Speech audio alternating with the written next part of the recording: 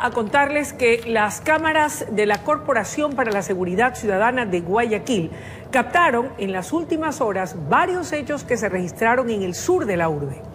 En uno de ellos, unas mujeres, sí, unas mujeres, grafiteaban las paredes de una vivienda. Aquí más detalles con ustedes. En estas imágenes del sistema de videovigilancia de la Corporación para la Seguridad Ciudadana podemos observar la presencia de dos mujeres. Cuando en la avenida Ernesto Albán, al sur de Guayaquil, en el sector de los almendros, realizaban vandalismo en una propiedad privada, grafiteando las paredes de una vivienda. El hecho sucedió el pasado 30 de marzo a las 22 horas 25 minutos. Las féminas aprovechaban el uso de la mascarilla para ocultar sus rostros Luego de haber cometido el hecho, caminaron unas cuantas calles junto a dos hombres.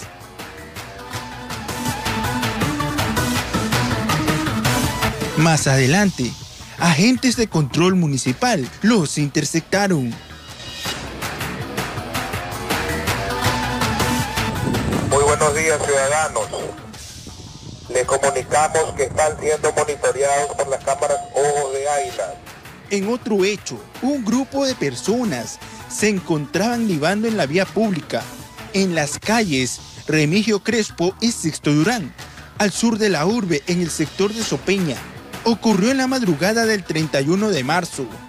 Le recordamos que el consumo de bebidas alcohólicas en la vía pública está totalmente prohibido. Muchas gracias.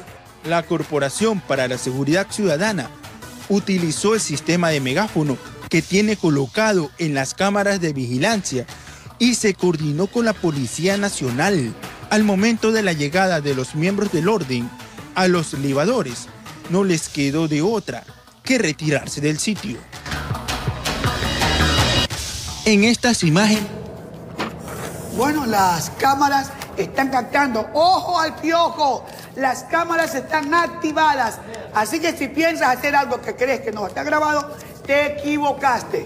Mira, ahí tenemos este video del 30 de marzo y video de la madrugada del 31. Chupando, como que si no les interesa. La gente está preocupada, por otro lado, ellos están destinados a chupar, a conversar y a, beber del mismo vaso. ¿ya? Lamentablemente. A, mí me llamó mucho la atención de ver estas mujeres grafiteando esta pared. Obviamente no se aprecia en la leyenda qué es lo que escriben, pero eh, normalmente yo habría pensado que aquello eh, era propio más bien o característico de los varones, pero me ha sorprendido ver a dos féminas grafiteando una pared. Habría sido interesante ver qué era lo que escribían. Probablemente también, como estamos en época de campaña electoral y, en la política como en el amor y en el fútbol, todo se vale. Todo se vale. ¿Quién sabe? Tal vez podría haber sido alguna leyenda alusiva a la campaña proselitista que se vive. También puede ser. También puede ser de cualquier temática. Favorable o... Así es. O, cualquier temática. O simplemente avivar al candidato de su preferencia. Tal vez la de negro pensé que era alguna, algún grupo de protesta, no sé, algún reclamo. Pero recuerden, y recuerden esto, que paredes y murallas es la pizarra de los canallas. Si usted tiene que manifestar algo, manifiéstelo pues como las personas normales, civilizadas. Estos son los, no son los medios idóneos e indicativos para manifestar una reacción y están las instituciones, están las oficinas donde usted puede quejarse. Mayrita, no, nos queda más que quejarnos, nomás porque así se queja. Pero tú, tú que eh, eh, has sido asambleísta, has vivido en Quito. En Quito y, sobre todo, sí, en, la capital de la República, es muy característico esto de los grafitis. Con leyendas y con mensajes también muy positivos. ¿ah?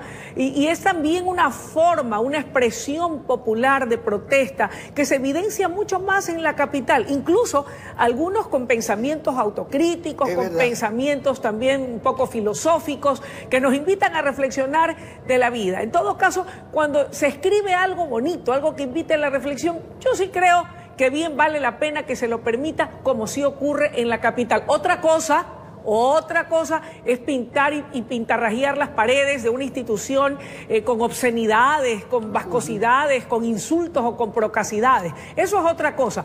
Pero un mensaje que nos invite a reflexionar, a pensar, a filosofar sobre los problemas de la vida, yo creo que viene muy bien, Mayrita. Y si quieren filosofar, yo creo que el dueño de la pared, de esas que no va a pensar lo mismo. Porque si tú quieres filosofar, quieres eh, plasmar un mensaje, ¿por qué no lo vas a hacer en, tu pared, en la pared de tu casa, O en la sala de tu casa. A ver si te va a gustar que te pinten las la paredes que después te toca a ti pintarla. Al dueño de la pared ahora estará pensando, ahora tengo que gastar cuánto en pintura, hasta que estoy fregado, no tengo plata y tengo que contratar un pintor que me va a cobrar no sé cuánto, ahorita no tengo la, mente eh, hecha moneda, pero eso le va a costar dinero. ¿Por qué? porque otros la vieron bonita para pintar.